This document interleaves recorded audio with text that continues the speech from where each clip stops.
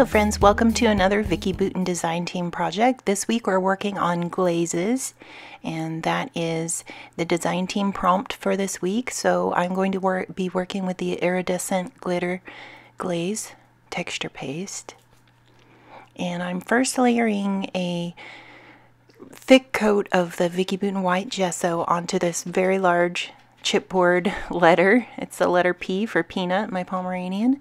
And I'm just making sure that I coat this really well with gesso so that the paint won't soak into the chipboard. So I'm trying to show you the Happy Spirit paper that I'm going to be using for the left hand side. I have a white foundations paper background the 140 pound mixed media heavyweight art paper from Vicki Boutin. And I'm trying to pick a section of these stripes that's more red orange or more orange than red because I want it to kind of match Peanut's coat. So I'm going to cut a section of the stripes and my design focus is I want a strong diagonal line because if you notice in my photo, there are some diagonal lines in the photo as well. So I'm just going to follow that design element. Line is a strong element that we use in design to lead your eye through the page. So I'm just measuring this out and making sure I have it to a full 12 by 12 width because my white foundations paper was not 12 inches wide. I had previously used a 3 inch strip. So I cut the stripe paper to three and a half inches so that I have a little bit half inch overlap and I can adhere this with the sticky thumb adhesive from American Crafts.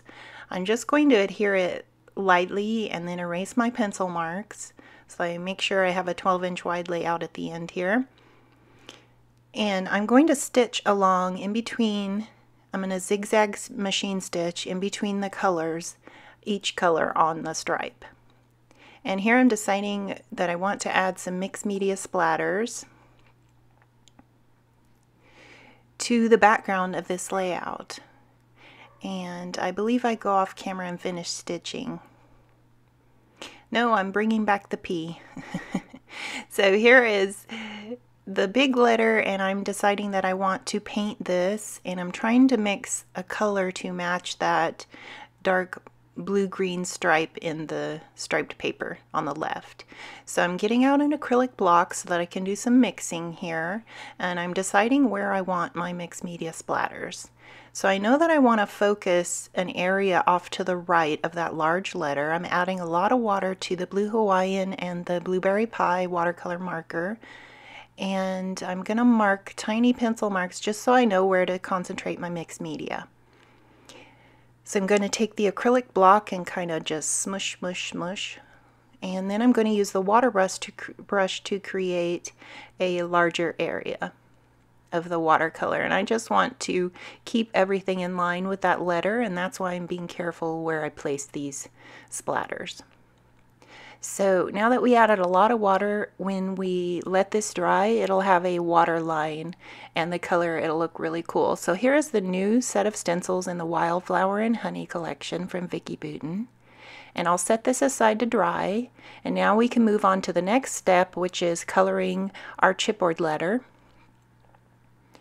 And I'm going to mix some paints at, and I'm going to use a Vicki Boutin paintbrush here Oops, I poured out too much of that watermelon, so I'm going to put most of it back in the jar there.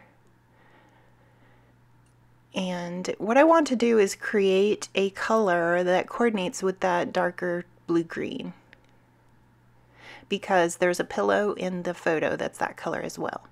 So here I'm adding some more ink to that acrylic block just so I can get uh, realize that that's the color that I want and I'm going to add some of the saltwater taffy. So this is watermelon burst, saltwater taffy, and I believe I go get the blue Hawaiian too. So I want to, this to have more blue. And at first I think that I can add some of the pigment color from the color wheel and I'm thinking I want to add an ombre color so it'll go from light to dark. But then I think that would be too distracting. So I go ahead and I add some of this pigment ink at the top in the lightest kind of seafoam color. And I, I, I think it could look great on a layout, but I just thought that there were too many different colors in the stripes, and so that I thought that the, the letter, the chipboard letter needed to be one color instead of a strong ombre. So I'm that's the great thing about layering is you can start with this and if you don't like the way it's going, I left this in just so you guys could see that sometimes I start it and I'm like, yeah, I'm not liking where this is going. So then uh, you can go ahead and cover that up once that dries. And so I'm adding some more, some of the Blueberry Pie watercolor marker just to blue up that paint. And this is more of the color I was going for. So now we're going to add this to the chipboard letter. And I'm just going to add a whole coat here and cover up that pigment ink. And I just decided that I really like the color. Uh, once I get to the top, it does create a little bit lighter effect, but you can't really notice it in the finished product. So you can cover this whole thing. And so we have the chipboard, we have the kind of, you can see the texture created by painting the gesso and then once that dried you go over it with the paint so you get another layer of texture. And then we're going to create a third layer once this dries. So we'll work on our layout in steps. Um, you notice I went to work on the background while the gesso dried and then I came back once the gesso was dry and painted the letter and then I'll go back to the layout. So I'm just getting that reference stripe and um, seeing I need more blue so I'm going to try to figure out, see I'm bringing it back saying, hmm, needs to be more blue. So I'm going to put away the pigment ink, the color wheel there. And I'm going to go back to painting some more.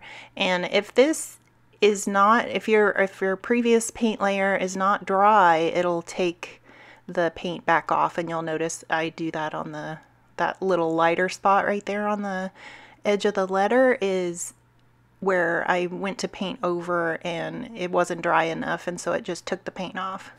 But that's okay, you can wait till it dries and go over it again. See now this letter is dry and we can move on to the next step which is creating the iridescent glitter texture paste. And we're going to color it. So I'm, I went outside and sprayed adhesive, stencil adhesive on the back of this brand new Wildflower and Honey stencil. And I'm adding that those colors that I had on my acrylic block is getting added to the glitter glaze here. And then I'm just going to spread it through the stencil with Vicki Boutin palette knife. And I really like the texture that this gives the chipboard letter. And plus I like the fact that it's summer and so summer seems to be like this iridescent teal color to me because it reminds me of the pool. So here I'm adding more of the Blueberry Pie watercolor marker and more of the Blue Hawaiian watercolor marker. Make sure you don't touch the iridescent glaze to the end of that watercolor marker. So here's the finished chipboard letter. It's all dry and I can move on with the layout. There's my stitching that I've finished. And you see that I want that chipboard letter. There's my photo of Peanut. And now I'm going to start layering in between those mixed media splatters. I'm going to layer all of the die cuts that coordinate with the colors on my layout. So I've got orange, coral, a sort of tan, cream, and the teal or turquoise. And I'm just adding different layers to add interest. And notice that I'm adding the leaves at a diagonal. So the diagonal line from the stripe goes from the top left to the bottom right, the striped paper. And then notice that I'm adding these diagonal elements back up to the top left or the top right. So that your eye is kind of led through the layout this way. So I love that dark teal butterfly and I'm going to add that with a foam dot to kind of point. Notice I'm pointing it towards Peanut when I finally decide where there it goes. That's a good place because it points to his face. And then I use the orange one up here at the top right to kind of also balance the layout. So I like how that looks. I like the stickers. They have a holographic gold foil. And then I'm going to get this uh, turquoise or teal section of that strip, word strip sticker and it says best kind of day. Now I'm going to go to the thickers. These also have the holographic gold foil. So I've got a teal banner shape with some gold splatters there. I'm going to add that just to add that darker teal color.